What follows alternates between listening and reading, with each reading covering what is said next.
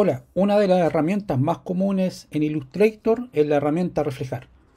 Acá tengo un ejemplo muy básico, son línea y curva, y la idea es que vamos a reflejar, vamos a crear un espejo a esta figura.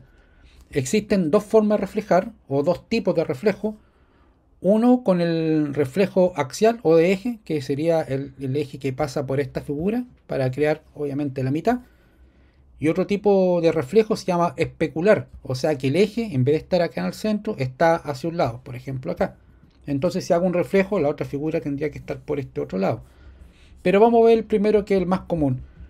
Para reflejar, yo puedo seleccionar el objeto y acá, en este cuadrito que está acá, significa el punto de pivote. Por ejemplo, si yo marco ese punto que apenas se ve, sería este lado.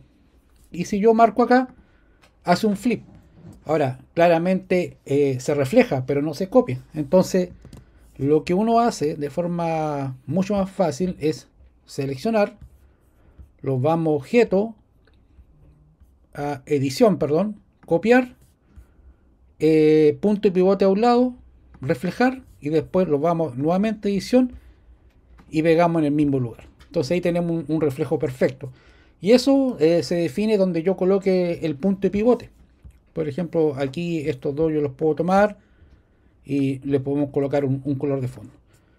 Otra forma, eh, que también es bastante fácil, es usar la herramienta directa o tecla directa, lo selecciono, me voy acá, abrimos esta pestañita con la letra O, será el punto pivote, o sea, yo me podría ubicar ahí para pivotear, se fijan y automáticamente lo, la herramienta lo agarra, o, ¿no es cierto?, escape, lo podríamos colocar ahí el punto pivote y también giraría.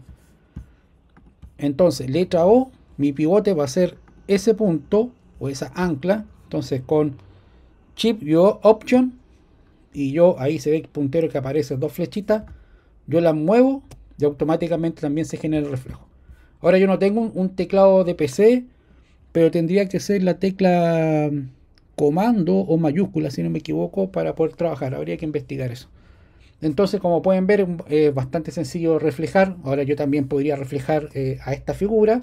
Entonces, la tecla O para una acción directa, o si no, seleccionan la figura y juegan con esta, con esta grilla, ¿no es cierto?, en un flip horizontal o vertical, depende de lo que ustedes deseen. Bueno, eso sería todo por ahora. Gracias por su atención.